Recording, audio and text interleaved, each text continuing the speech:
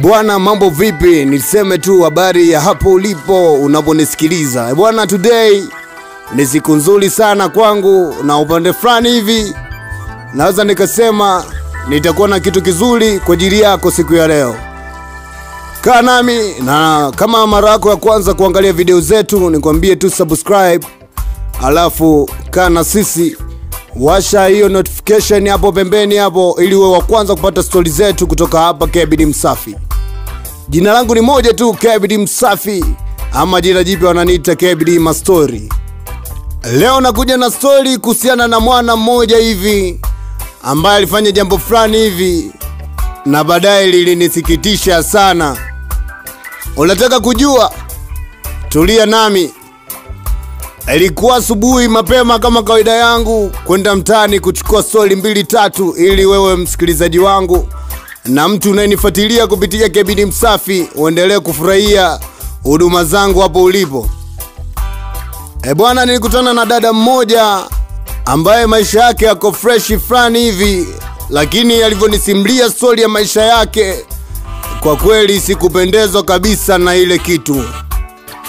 Dada akanambia kwanza namna alivyoanza kuishi maisha yake mpaka akaingia kwenye mahusiano mpaka pale alipo sasa hivi ilikuwa nini.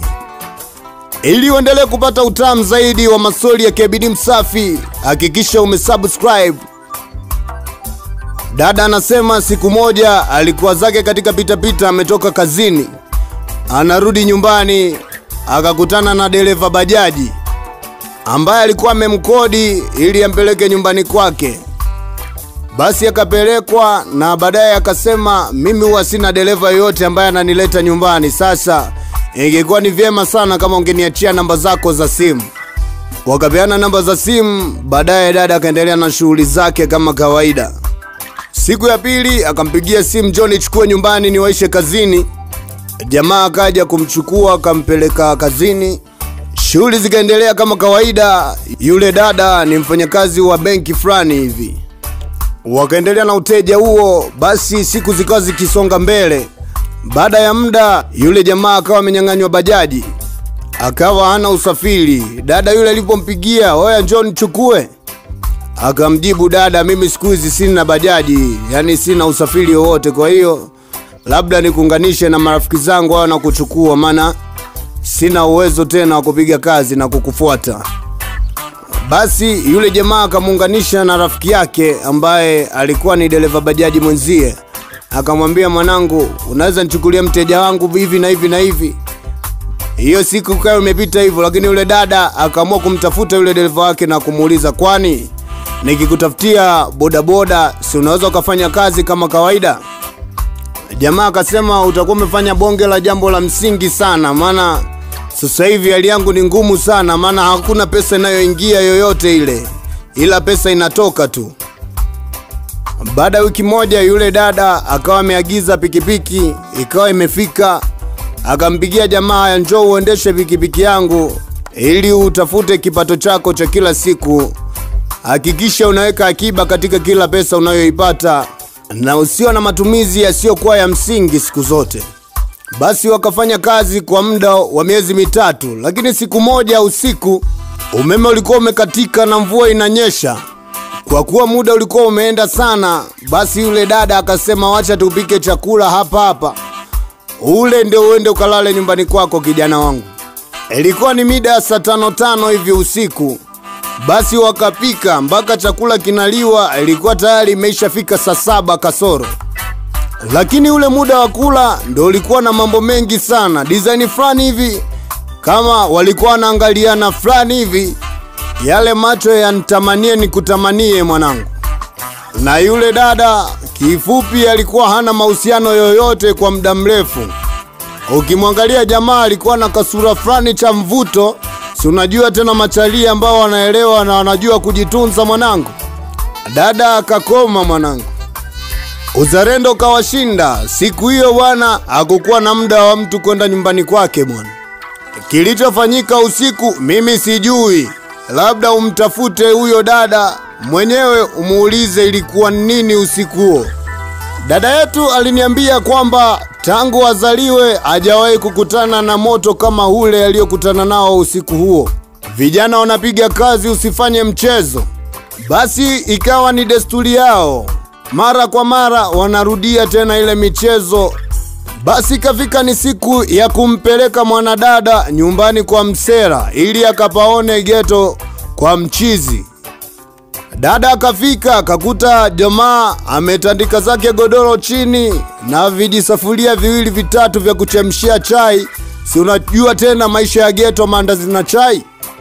Kwa kuwa dada alikuwa angalii maisha yenye anayaona, dada alikuwa anajua kesho ni bora kuliko leo, na tayari alikuwa shampenda jamaa kupindukia. Wakaamua kupatana na kuanza kuishi nyumba moja. Yule dada akasema, sasa maisha yataenda kwa mfumo huu, kila pesa ninayoipata mimi kutokana na mshahara wangu itakuwa ni pesa kwa ajili ya maendeleo yetu, lakini pesa unayoipata wewe kwenye bodaboda ndio itakuwa pesa ya kula kila siku. Maisha yao yaanza vizuri kabisa. Jamaa wazi wazi aliokota dodo chini ya mnazi, design fulani hivi mwanangu. Maisha yakaenda kwa muda fulani, wakawa wanaishi freshi sana, lakini jamaa alikuwa ni mtu wa mademu kibao sana nje. God akawa wakapata mtoto mmoja mwanangu. Mtoto alivyokuja, jamaa mapenzi yakawa amehamia nje kabisa. Alafu mwanamke ajui kwamba mumewe kila siku anachepuka. Si unajua tena mambo ya wanawake. Mtoto amezaliwa sasa, mazingira yote yanarekebisha ya mwanamke ya mtoto wake tu. Alafu jamaa design fulani hivi kama akaongeza kasi sana katika kutumia vidosho nje. Lakini siku moja yule mwanamke akajiongeza akasema, leo wacha nimfanyie surprise mwanaume wangu.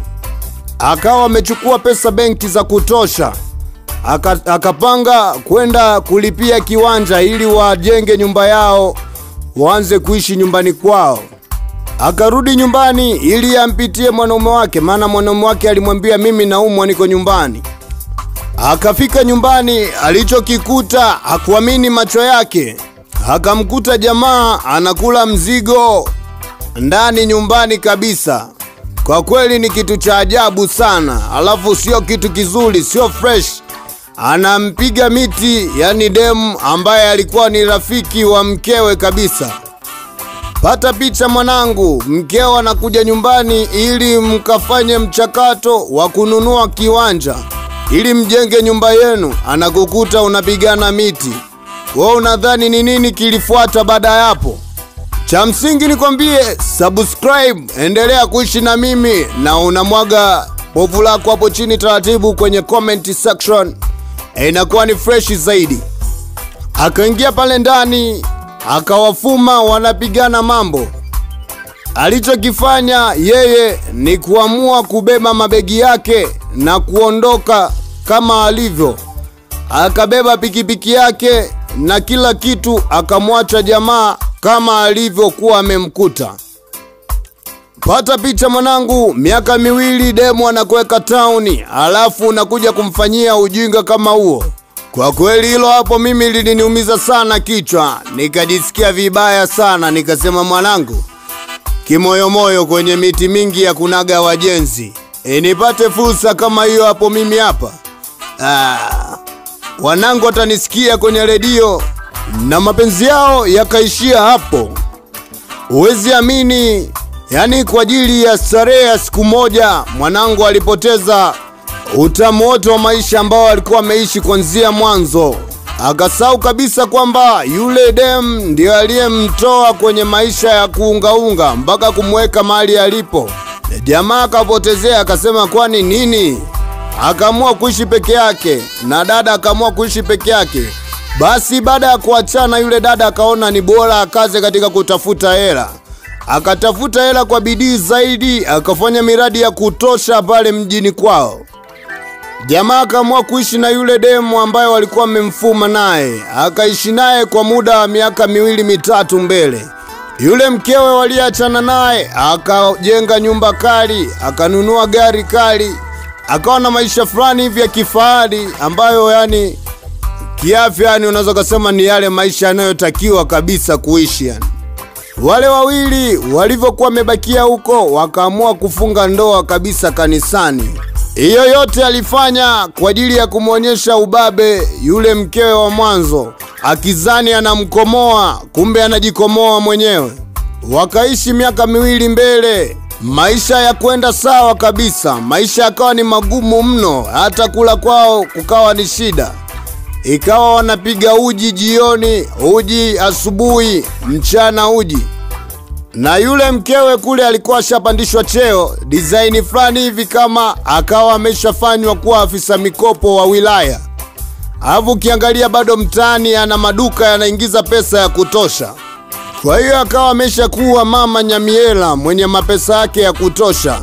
Hata mimi mwenyewe nilipofika nyumbani kwake, kwa kweli nilitamani mimi ndio niwe baba wa mjengo huu hapo, lakini sema tu mwanangu, bahati haiwezi kuja kwako kama ilivyoenda kwa mwenzio. Lazima kwako itabadilika kidogo, itakuwa ya moto zaidi ama itakuwa chini zaidi. Siku moja katika pitapita zake, jamaa amechoka, yuko chakali akashtushwa na mlio wa oni oni moja iliyoshiba vizuri kabisa, gari kali Nissan Murano ikampigia oni na kioo kikashushwa bila kuamini na kutarajia. Akamwona ni mkewe wa zamani aliyemwacha, na akamwambia maisha bila wewe nayaweza.